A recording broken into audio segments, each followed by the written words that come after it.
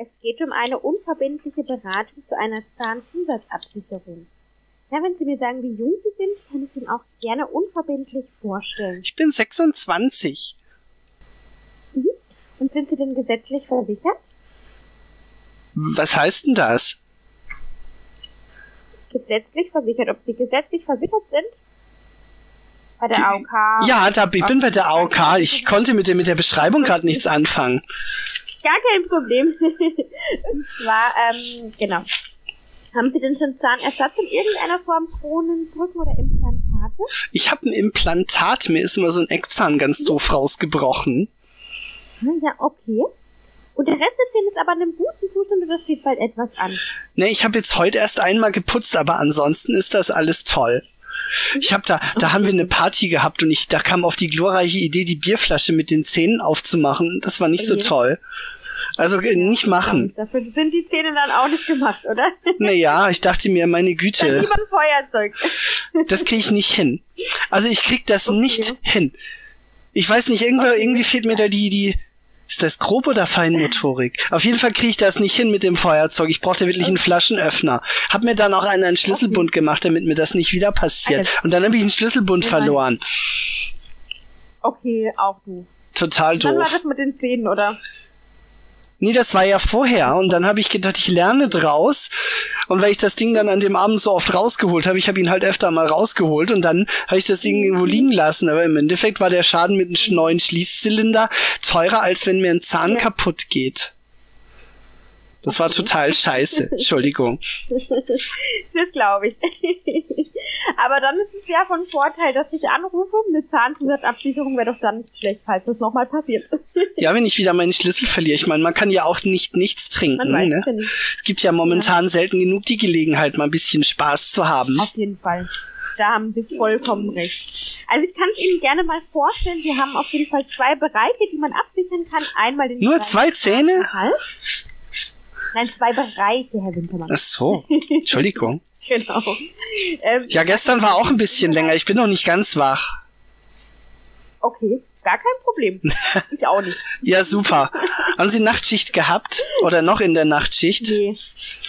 Nee, nee. Ähm, ich bin beim Telefon, ja, Nachtschicht wäre da glaube ich nicht so gut, wenn die Leute dann nachts anrufen.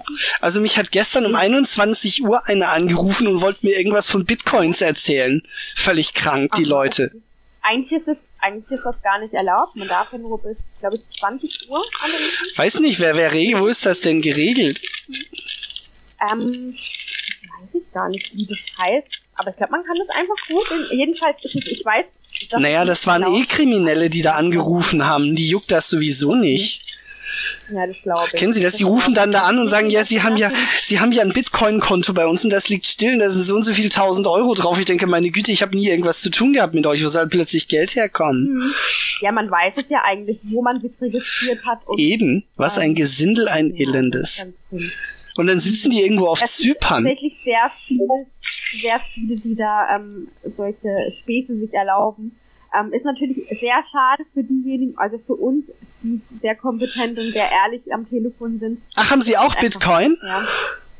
Nein, Ach so, ich dachte gerade schon, weil eigentlich klang das ganz interessant, aber aber der der Typ hat sich als, weiß nicht mehr, Manuel Schmidt oder sowas vorgestellt. Man hat aber total gehört, dass der irgendwo aus Russland kommt, von, von der Stimme her. Aha, okay. Okay. Als ja. ob man das nicht merken würde. Und die Telefonnummer? Ja, angeblich aus Berlin. Ich habe die, ich habe die Nummer dann bei Google eingegeben. Da stand auch schon hier, äh, was weiß ich, bei bei Telefonziege auf YouTube gab's dann schon ein Video, wo er die Betrüger verarscht hat von der Nummer. Und das waren dann auch ganz Ja. schlechte Bewertungen bei Google, wenn man die Nummer eingibt. Hm, okay, das ist natürlich sehr doof. Also alte Leute können sowas halt nicht. Aufpassen. Ja, auf jeden Fall. Ja, aber die wissen ja auch, okay, Bitcoin, das sagt mir ja auch gar nichts. Und dann legen die ja meistens auch auf. Ja, hoffentlich. Ja. Weil das scheint ja zu klappen, wenn die da bis spät abends noch tyrannisieren. Das grenzt ja schon an Gangstalking. Ja, also sowas geht gar nicht. Also wie gesagt, wir dürfen äh, ähm, eigentlich nur bis 20 Uhr. Wir arbeiten sogar auch nur bis 19 Uhr, weil ich finde 20 Uhr auch ein bisschen grenzwertig, wenn man da die Leute anruft, die von der Arbeit kommen oder sonst. Ja, absolut. Ich meine, so wichtig kann es dann auch wieder nicht sein, ne? Mhm. Und wenn es wichtig ist, dann hat man eigentlich irgendwie eine Nummer, dass man auch wirklich weiß, wie man die Leute Genau, erreicht. Genau. Wenn's denn, wenn die Nummer denn genau. funktioniert, die hat's bei denen ja natürlich auch nicht, wenn die da aus Moskau anrufen. Ah ja. Okay. Na klar. Ja, das kann man ja alles ja, fälschen. Eine Rufleitung, um, Umleitung oder sonstiges. Naja, das kann man ja ganz leicht bei uns machen. können wir zurückrufen. ja, vielleicht mache ich das ja genau. auch. Gerne, können Sie jederzeit. Ich gebe Ihnen auch ähm, eine, gerne eine Telefonnummer von meinem Vorgesetzten. Da können Sie jederzeit auch mit ihm telefonieren. Nee, nee, ich habe ja keinen ja. Grund, mich zu beschweren. Das ist ja alles total nett ja, bisher. Man weiß es ja nicht. Man weiß es ja nicht. wir wollen es aber nicht drauf also, anlegen, ne? Nee. Obwohl mein Vorgesetzter ein ganz netter ist. Also mit dem kann man schon stundenlang sprechen. oh, dann, der darf aber auch nicht zu, zu sehr auf die Kumpelschiene, sonst nimmt ihn keiner mehr ernst. Nein, ist er auch nicht. Ist er auch nicht. Man weiß auch, wo die Grenzen sind bei ihm. Sieht ja gut aus. Genau. das sage ich jetzt nicht. Die Gedanken sind frei. Ja. Ja, fragen darf genau, man ja, also ne? darf man, gerne. Man darf nur nicht immer auf eine Antwort hoffen. Nein. Herr Wintermann. Oder sitzt er jetzt gerade daneben und hört zu? Dann wäre mir das natürlich peinlich. Wir sind, wir sind im Homeoffice. Bin ganz alleine. Ach, ja stimmt, das ist ja jetzt diese Zeit, ja, ne? Ja, ja. Wir sind jetzt seit zwei Monaten, glaube ich, knapp zwei Monaten im Homeoffice. Ähm, ja, kann auch Dauer langweilig sein. Ja, wenn, wenn so die ganze verrückte Truppe, mit der man sonst so arbeitet, ich weiß das ja noch aus den Lockdowns, das ist dann total scheiße, ne? Ja, es hat Vor- und Nachteile, sage ich jetzt mal. Man kann im Schlafanzug arbeiten. Total toll. Unten und, läuft das Fußmassagegerät, daneben steht der Rotwein. Oh, toll. Das habe ich ja auch zwei Monate lang gemacht. Bei vollem ja. Lohn vor Zahlen. Das ist ganz angenehm. Mhm total geil. Kann man genießen, Herr Wintermann. Ja, aber wäre schöner, wenn die Welt sich wieder normal dreht. Aber mit den ganzen Idioten da draußen okay. dauert das wahrscheinlich noch eine ganze Weile. Hm, da haben Sie recht. Ich war neulich, war ich Schuhe kaufen, ne? alles wieder normal. Ja? ja, das muss, da war ich Schuhe kaufen und da kam da auch wieder so ein Idiot ohne Maske an und diskutierte da mit okay. den Angestellten, weil die den natürlich mhm. nicht reingelassen haben und fing da irgendwas an zu erzählen, das wäre alles eine Verschwörung und Angela Merkel gehört zu den Echsenmenschen und hat das mhm. alles angezettelt. Ich habe ja gedacht, okay. ich komme gleich, oh verstehen Sie Spaß um die Ecke, aber der hat das total ernst gemeint. Ja. Und dann kam da so, so ein riesen Security-Russe um die Ecke gemettelt und hat dem auf auf die Schnauze gehauen, weil der handgreiflich geworden ist. Ich fand das total toll. Oh Gott. Oh Gott. Ja, der, der, der lief da rum und der hat ja irgendwie total den Dachschaden. Der rief immer Gangstalker, Gangstalker, Mord, verstecktes Mord- und Folterprogramm und hat immer seine Internetadresse rumgeschrien. Er würde angeblich verfolgt werden von ganz vielen Leuten. Ja, Weil ich glaube, dem will keiner zu nahe kommen. Psychologische Hilfe. Ich, ich könnte mir gut vorstellen, dass ja, die den dahin gebracht haben. Viele Leute. Ja, kann sein. Ne, wenn Aber der da halt gewalttätig halt wird. Auch wieder nicht, dann wird er nach einem Tag auch wieder auf die Welt losgelassen. Nach einem Tag? Da bist du ja gar nicht behandelt worden. Ja, man kann die ja nicht, man kann die ja nicht ähm, festhalten. Also das ist ja alles auf, auf freiwilliger Basis. Wie die Forensik ist jetzt auch schon freiwillig, das macht ja keinen Spaß mehr. Nein, ich meine die, die Psychologie. Ach so. ja, ja, genau. Ja so ist es. Halt. Jetzt hätte ich gedacht, die hätten genau. ihn da vielleicht also, reingestopft. Herr Wintermann, ich will ihn, ich will Sie jetzt nicht unterbrechen, aber ich muss leider weiterarbeiten. Also wenn Sie an der Zahnzusatzabsicherung nicht interessiert sind, müssen wir leider das Gespräch beenden. Wir haben ja noch gar nicht drüber gesprochen. Ja, Was kostet der Spaß? Ja, wenn Sie, mhm. also wir haben, wie gesagt, zwei Bereiche. Einmal den Bereich Zahnerhalt. Da geht es um die Zahnreinigung, Füllungen, Wurzel- und Parodontosebehandlungen oder der zweite Bereich, da geht es dann auch schon um den Zahnersatz, Kronenbrücken, Prothesen, Implantate, alles, was die Zähne später mal ersetzt. Ja. ja ähm, welcher Bereich würde Sie denn eher interessieren? Ja, also ich glaube, sauber machen kann ich ganz gut selber, aber ist mal, ist das denn dann ähm, ähm, so so für für den natürlichen Verschleiß oder auch wirklich, wenn da noch mal so ein Unfall passiert oder mir auch mal so einer auf die Schnauze haut, weil ich sage, er soll eine Maske anziehen? Mhm. Also der Zahnerhalt, ähm, da gibt es ja, äh, da wird Inlays und Onlays sind dazu 100% abgedeckt. Da ist was für ein Ding? Ein Stück vom Zahn mal abbricht. Inlays und Onlays heißt das. Ja, was ist das? das? das will ich doch nicht fragen. Wenn, wenn, wenn ein Zahn mal abbricht, Herr Wintermann, ähm, wird da eben diese Füllung erstellt. Sozusagen, wenn Sie die Flasche mit den Zähnen aufmachen und da bricht der Zahn ab, dann brauchen sie ein On-Lay. Ja? Ach so, aber das, das zählt das denn auch? Oder ist das so wie, wie, weiß ich habe ja auch eine Haftpflichtversicherung, aber da habe ich eine mal den Spiegel mhm. beim Auto abgetreten, die haben das auch nicht bezahlt, weil die okay. gesagt haben, das habe ich okay. ja selber gemacht. Was machen die denn so? ne, das war, war auch ja. nach der Nacht, der hat mich geärgert. Inlay Onlay ist tatsächlich damit versichert, egal wie. Nein, das war total krass. Also wir sind da, wir sind da nach Hause gelaufen. Wir wohnen hier im Bayerischen auf dem Dorf. Und dann sind wir da vorbeigelaufen. Dann rief irgend, also mitten auf der Straße, dann rief irgend so, so ein Verrückter aus dem Fenster runter von meinem Grundstück, runter von meinem Grundstück. Und einer kannte den wohl und hat gerufen, Rainer, Ruhe. Und dann kam der runter und hat einen riesen Aufstand gemacht. Und ich, ich war da okay. fremd und musste warten, bis mein Kumpel kommt. Ja, ja. Und dann ist er uns mit dem Auto hinterher gefahren, der Verrückte. Verrückte. Total irre. Okay. Also man muss sich auch nicht mit jedem anbieten. Nein, der war auch ziemlich eklig, der Kerl, muss ich sagen. Okay. Aber ich hatte mein ja, Pfefferspray nicht dabei. Das hatte mir der Türsteher weggenommen. Wie wollen Sie einen ignorieren, der Ihnen mit dem Auto hinterher fährt? Und laut und schreit wie ja, am Spieß. Da aber recht. Das geht schlecht. Die Polizei anrufen, man weiß es nicht. Ne, die kam dann am Ende auch. auch okay. Ich weiß aber gar nicht mehr, wie das ja, ausging. Das das ist verrückt. Okay. War total die verrückte Nacht. Ja, ich darf da jetzt auch mhm. nicht mehr hin. Die haben gesagt, wir hätten ihn provoziert. Er sagt, Entschuldigung, dass ich nach Hause laufen wollte. Mhm. Hat ihn doch keiner ja, gezwungen, sich ins Auto zu setzen, ne? Ja, klar. klar. Verrückte Leute gibt das. Oh ja, da haben Sie recht. Aber was kostet der Kram? Ja. Da sind wir jetzt irgendwie schon wieder von abgekommen. Also, also wir sollten, wir sollten öfter mal reden. Das macht total Spaß. genau, Herr Wintermann. Also zu dem Zahnerhalt, wo das Inlay Onlay dabei ist, dass dann eben noch ähm, die Zahnreinigung dabei, Füllungen zu 100 Prozent, 100 Prozent Knirscherschiene. Was für ein ähm, Ding? Funktionsanalyse.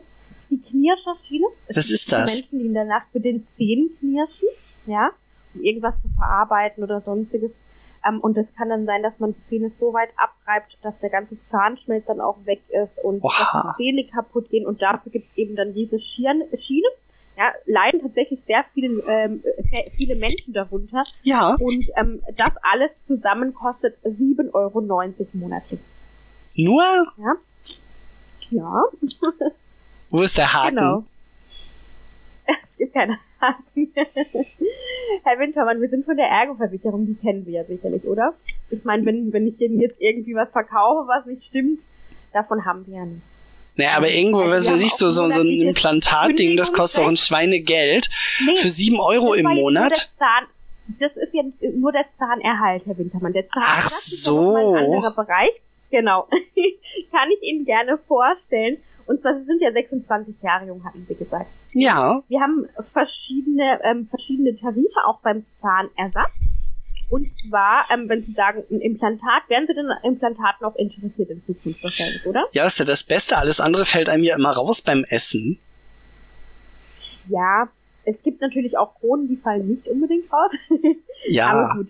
Aber wenn, also ich kaufe mir, wenn ich, wenn ich, wenn ja? ich äh, unterwegs, ich kaufe mir ja kein Bobbycar, ich kaufe mir ein Auto und dann will ich auch, wenn einen falschen Zahn, dann soll der auch gut sein. Bobbycar kann bestimmt auch lustig werden. Ja, das macht auch Spaß, aber ich glaube, wenn ich mich in meinem Alter da noch draufsetze, dann fehlen gleich wieder Zähne. Hm haben wir wahrscheinlich nicht. Das muss ich ja nicht also unbedingt also, haben. Ich meine, das macht, ich bin ja echt gerne mal für so einen Wahnsinn zu haben. Kennen Sie äh, Roofing? Aha. Nee, tatsächlich nicht. Das ist so eine, eine Extremsportart. Da hat man quasi so eine, so eine GoPro-Kamera um, äh, um die Brust oder am Kopf. Und dann springt man so von Häuserdach zu Häuserdach. Das ist so in den, in den Großstädten halt, wo alles aneinander gebaut ist. Ah, ja. Das mache ich zum Beispiel ganz gerne. Echt? Okay. Ja. Wow. Können Sie mal bei YouTube gucken, da gibt's total tolle Videos. Oh, macht der das auch? Mhm. Ja, also der springt überall hoch und überall runter und klettert wahnsinnig gerne. Ja. Also oh, das hört sich gut an. Wo wohnt denn der? Mhm. Vielleicht kann man da mal eine Koop machen für YouTube. Wir wohnen in Offenburg. Offenburg, Offenburg. Wo ist denn das nochmal? Genau. Ähm, bei Freiburg, wenn Ihnen das was sagt? Na, da gibt's ja mehrere Freiburgs. Breisgau? Genau, genau, genau. Ah, das ist ja, das ist ja durchaus erreichbar. Da wohnt meine Oma. Ah ja, okay, interessant. Macht er da auch Videos ja, von? Auf jeden Fall. Ähm, nee, tatsächlich nicht. Also ja. so hobbymäßig. Oh, da kann, ja gut, bei mich lebt genau. er auch nicht von, weil YouTube ist ziemlich geizig mit mhm. den Werbeeinnahmen. Als ob die nicht genug Geld okay. hätten. Sieht ja gut aus. Ja, das stimmt. Aber es versuchen halt sehr viele damit Geld zu machen, oder? Ja, das stimmt. Na gut, ich weiß nicht, was andere machen. Sieht der Bruder denn gut aus? Ja. Ist der fit und sportlich? Hm, auf jeden Fall. Was hat der für eine Haarfarbe? Fit und sportlich ist er auf jeden Fall. Ähm, braun? Sexy. Braun, manchmal färbt, färbt er sich blond. Ah, Der färbt Ja. sich die Haare, oh toll. Ja, ja. Oh, das finde ich total Hat er toll. auch schon jegliche Farben, glaube ich, drin. Ähm, ja. Er versucht immer was Neues. Was Also ich habe zurzeit äußerliches Erscheinungsbild. Oh, das ist klasse. Ich glaube, da würde das würde Mhm. das würde mir gefallen. Ich habe zurzeit so fuchsorange Haare. Aha, interessant. Ja, ich habe mir auch so einen Fuchsanzug gekauft und jetzt habe ich gesagt, mein nächstes Video mache ich als Fuchs, das muss ich dann halt nachts machen. Okay. Ja. Vielleicht treffe ich dann diesen Verrückten wieder, der glaubt dann bestimmt auch, ich verfolge ihn. Dann kommt die Polizei nochmal und sperrt sie wahrscheinlich weg. Ja, ich weiß nicht, vielleicht fällt, Wer fällt weiß. ein Fuchskostüm ja schon unter Uniformierung, aber ich bin ja dann keine Demo, ich bin ja allein. Nein, wir sind ja dann zu zweit oder wie, wie, wie, wie machen wir das denn? Krieg ich seine E-Mail-Adresse oder seine Telefonnummer? das, geht das geht leider nicht, Herr Wintermann. Oh, doch, wir müssen da doch irgendwas drehen jetzt. ja, Das ist eine einmalige Gelegenheit. Warum nicht? Das darf man am Telefon leider nicht, ja. Was darf man am Also, Telefon nicht? genau. Freundschaft schließen? Also, genau. Wir sind ja, ich bin ja hier bei der Arbeit. Ja, einmal aufschreiben, dem geben, da soll der sich bei mir melden. Leider geht es wirklich nicht, Herr Wintermann, tut mir leid. Oh, ich würde auch seine, Genau. wenn seine Also- Parcourschuhe dann irgendwann nicht mehr so einsatzfähig sind, ich würde ihm die auch abkaufen. Nein. Doch. Ähm, genau. Oh. Also zurück zur Zahnzusatzabsicherung. Wir schweifen schon wieder komplett vom Thema ab. Ja, aber das wäre ja ein bisschen wichtiger als Zähne. Echt? Ja, oder Ich nicht? finde Zähne ganz wichtig. Ja, die sind ja auch wichtig, aber wenn da so ein heißer Boy unterwegs ist, der auch gern klettert, dann ist das für mich irgendwie ein bisschen wichtiger. Ähm, ja, für Sie ja, aber ich bin ja hier bei der Arbeit. Ja, wir müssen uns jetzt irgendwo in der Mitte treffen. das geht leider nicht, Herr Wintermann. Wie Och. gesagt, wenn Sie, wenn Sie kein Interesse haben, muss ich leider das Gespräch auch beenden. Also ich habe ich hab ähm, großes Interesse. Ist Ja, er bei An Facebook? der Zahnzusatzabsicherung. Ist er bei Instagram oder bei Facebook? nee. Ach doch, Also erzähl mir doch Bruder nix. ist Gar nicht so, er hat so ein ganz altes Handy. So gar nicht Ja, aber auch das kann man doch anrufen. Wir sind doch hier nicht, wir sind doch hier nicht in Nordkorea. Ich kann ihm, ich kann Ihnen jetzt auch keine Telefonnummer rausgeben, ohne meinen Bruder zu fragen. Das ist natürlich auch Nee, aber ihm meine er geben. Nee, Herr Wintermann. Ach Also, gesagt, komm. entweder. Ist jetzt aber echt nicht cool. Absicherung. Ja, so ist es halt leider. Ja, aber das ist total gemein. Das tut doch keinem weh. Es sei denn, man fällt runter vom Hausdach, aber das weiß man ja vorher. Ja. Also wie gesagt, ähm, das Zahnzusatzabsicherung. Wie groß wenn, ist wenn der das denn? Interesse besteht, können wir gerne darüber reden. Ähm, ansonsten muss ich leider aufhören, ja? Also ich weiß jetzt ja zumindest schon mal, wo ihr wohnt. Hat er den gleichen Nachnamen?